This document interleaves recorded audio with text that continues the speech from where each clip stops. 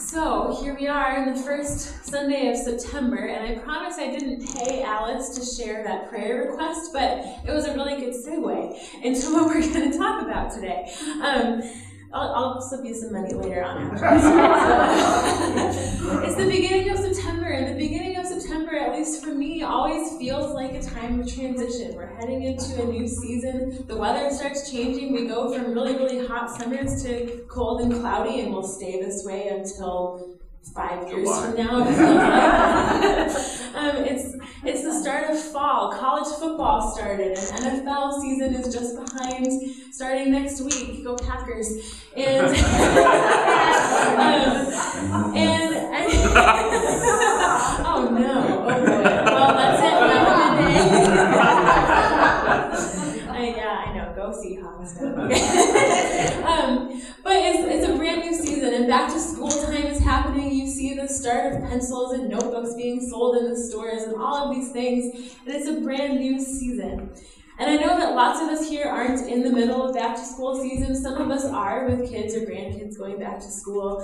Um, and some of us are years away from that, or if you're like me, then you're years heading into that again. Um, but we kind of take on this back to school sort of rhythm, right? Summer takes a different sort of life of its own, and when we hit fall, then our lives change a little bit and our schedules change.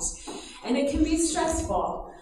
Um, or if you're like me, I, I really like organizing things and I like lists and calendars, and I kind of get a little kick out of taking some time to restructure my calendar and look at what's coming up and see what's going on. But there's this new season to take stock of what's happening and what, what's coming up for us. Like John said, in a couple of weeks, we'll have a summer kickoff Sunday here at Harbor Church, and we'll talk about some of those things that are coming up different Bible studies, or small groups, or outreach opportunities, and all of those things are happening. So, often at this time of year, we think a lot about our priorities right? Our schedules are really come down to our priorities. We make time for the things that we really care about. And our schedules can kind of begin to shape our identities. You know, when you look at our schedules and see what's on it, that can become a little bit of who we are, we take on that personality. And those things are all good and they're natural and normal. And the one little sticky issue is that it makes everything all about us and our busyness. What am I going to do? What do I need to do? What should I be doing? And it's easy to forget about God in the middle of all these transitions that come with fall. So this year, I've been thinking about baptism. Maybe it's all the rain that all of a sudden we've been having, but I've got baptism on my mind. And I have to give some credit this morning. I owe a lot of these thoughts that I'll share with you today to a great thinker and teacher and theologian that I know named John Witvliet. Um, he lives in Grand Rapids, Michigan, and works for an organization called the Calvin Institute of Christian Worship. And I got a chance to work with him um, just after I finished college there and um, learned a lot from him. So this goes back to him. So, John, if you happen to be watching, thank you. Um, but in an article for a magazine called Reformed Worship, John Witvliet pointed out that this problem of us taking stock in fall is that it puts all of the emphasis on our busyness all the things that we should be doing and need to be doing, and tends to take the focus away from God and what God is doing and what God has done for us in our lives. When we spend all our time looking at schedules and calendars and sign up sheets and different opportunities, it tends to put our focus on us. But when we think about baptism, on the other hand, it's all about God and God's action and God's promises in our lives. Listen to these words from Romans 6. This is Romans 6, verses 1 to 11. And it says this What shall we say then? Shall we go on sinning so that grace may increase? By no means. We are those who have died to sin. How can we live in it any longer? Or don't you know that all of us who were baptized into Christ Jesus were baptized into his death? We were therefore buried with him through baptism into death, in order that, just as Christ was raised from the dead through the glory of the Father, we too could live a new life. For if we have been united with him in a death like his, we will certainly also be united with him in a resurrection like his. For we know that our old self was crucified with Jesus so that the body ruled by sin might be done away with, that we should no longer be slaves to sin, because anyone who has died has been set free from sin. Now, if we died with Christ, we believe that we will also live with him.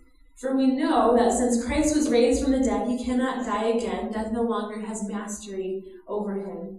The death he died, he died to sin once and for all, but the life he lives, he lives to God. In the same way, count yourselves dead to sin, but alive to God in Christ Jesus. These words, these verses in Romans 6 are all about our identity as baptized people. It all hinges on the fact that we were baptized in Christ. And many of us I know in this room have been baptized already. Some of us were baptized as little babies, like me. Some of us were baptized as teenagers or adults or somewhere in between. Um, but many of us in this room have been baptized already. And for those of you, if there's anyone who hasn't been baptized, don't tune out. This is for you too, and I invite you to consider if that might be a next step for you as we look at this. But this is who we are as baptized people of Christ. In our baptism, we've died to sin and we're alive with God. We're new. Our lives are made new in Christ through our baptism, and we have a new identity. When we're baptized, we die to sin and we're raised again. In a sense, we're alive with Christ again. Just as Christ was raised again, Scripture says, so we too have been raised with Christ to live a new life. That's our identity as baptized children of God. That's who we are already. That's who God has made us to be already.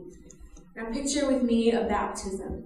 We have a couple of baptismal fonts of sorts up here this morning. Um, and here at Harbor Church, we often baptize babies, and the Christian Reformed Church that we're a part of, we baptize infants. Of course, if someone wants to be baptized as an adult, we are happy to do that too, but traditionally we would baptize an infant. So you picture an infant baptizing, baptism, it's, it's kind of a gentle thing, right? We, we hold the baby and we maybe sprinkle water on their forehead or make the sign of the cross on their forehead and welcome that child into the family of the, the Church of Christ.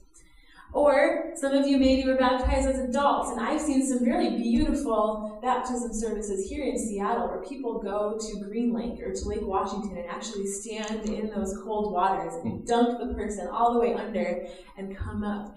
And what a powerful picture that is of dying with Christ and being raised again to new life, to being submerged and coming out totally clean and new. There are lots of different ways to do baptism. But regardless of the picture, the image is this. We've died with Christ and we've been raised with Christ.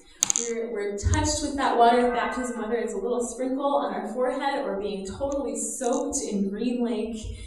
The water of baptism washes us clean and gives us a new identity, a new creation, a new life in Christ. And that's who we are from that point on. We are someone who has been washed clean. We are a baptized child of God. I said before that our schedules and our programs and commitments ultimately come down to priorities. We make time for the things that are important to us. So it's easy to, to think then that our identities are wrapped up in all the things that we do. If you were to look at my calendar, which believe me, I already have quite organized for the fall, because that's how I am. But um, if you were to look at my calendar, you would see it full of outreach events coming up at Harbor Church and things with our preschool and things with my family and families coming to visit and all of those kinds of things. And so it would be easy to say, looking at my calendar, that okay, I am an outreach pastor, I am a preschool director, and I'm a, a wife and a mom and a daughter. And that's who I am. And those things are all true. But what happens if one of them goes away?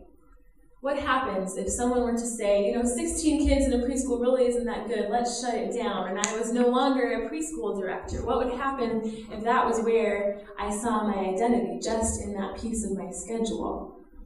What would that do to me?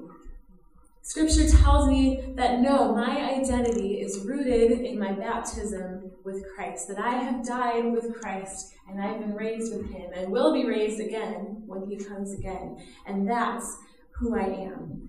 It's not just about my schedule, although that's important and shows you the things that are, important to me and the things that I love to do and want to do and am excited about doing. But regardless of what's on my schedule, I am now and always will be a child of God. That's who I am. That's who you are here this morning. In your baptism, God made clear the promises of the gospel for you. God embraced you and welcomed you into the body of Christ, the church, and your work this year in your workplaces, in your families, here at Harbor Church, that's all in response to God's work in your lives.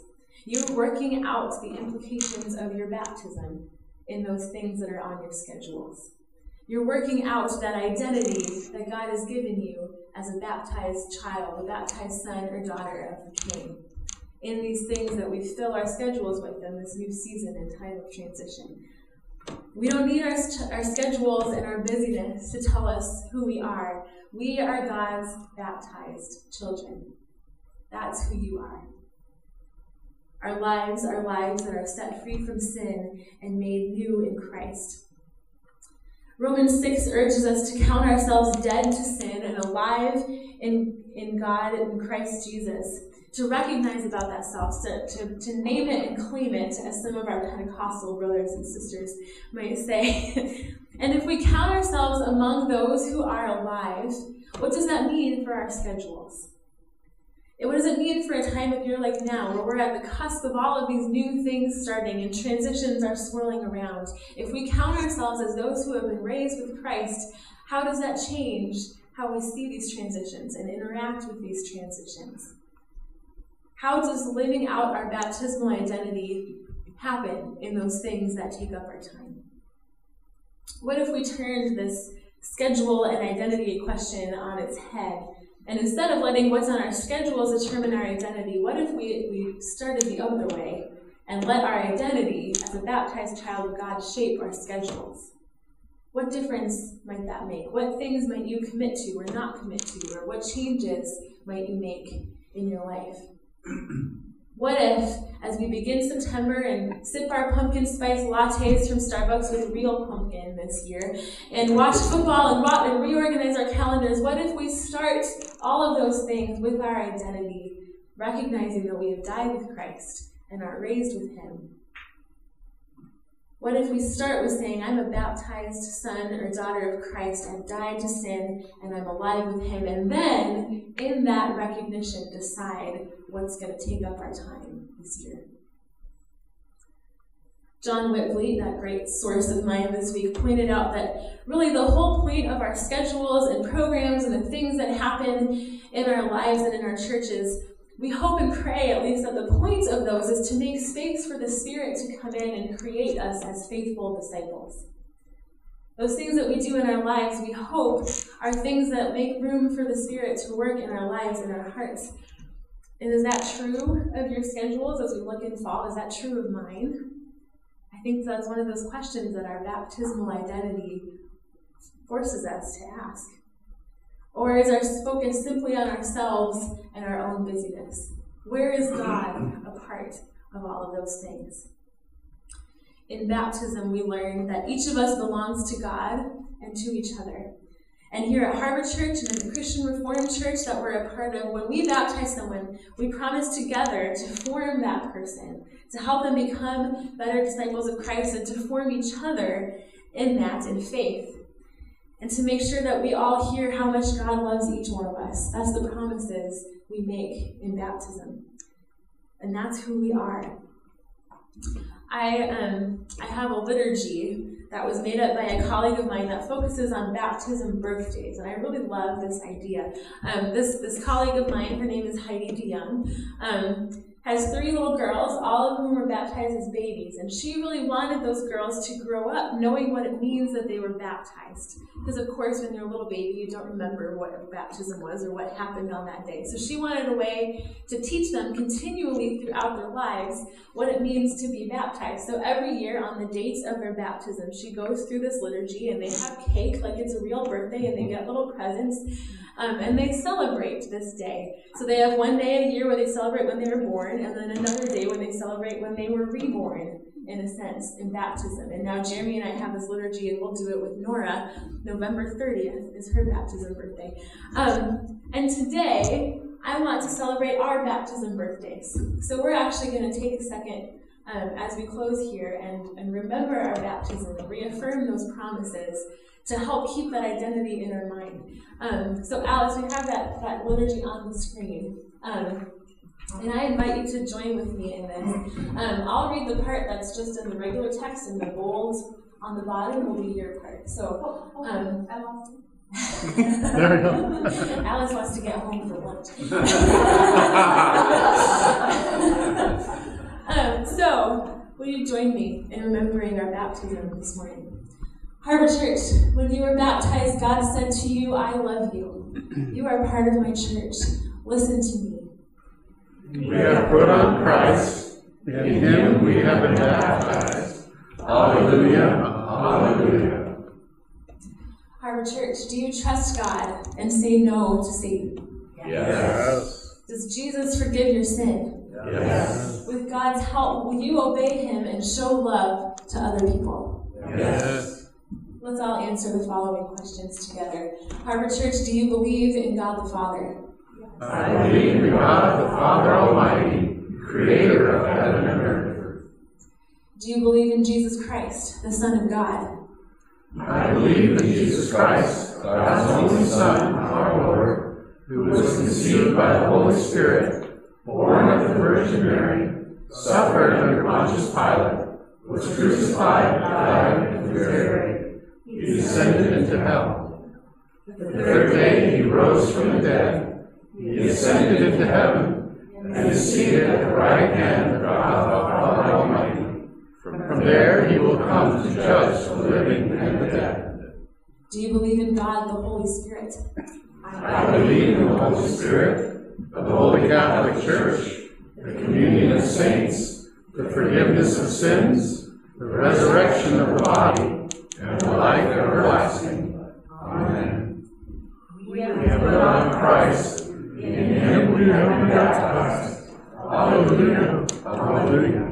Will you pray with me?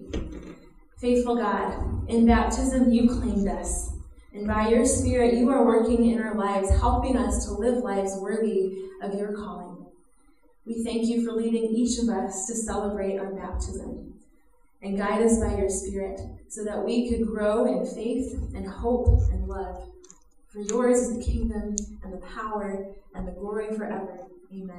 And let's end with that refrain one more time. We have put on Christ. In him we have been baptized. Hallelujah, hallelujah. Amen. That's that confirmation of your identity. And if there's anyone here who hasn't yet been baptized, I invite you to think through those questions and those answers that you just read. And if you can answer them, I invite you to find one of us and we can we can talk about maybe taking that next step in your walk with Christ too.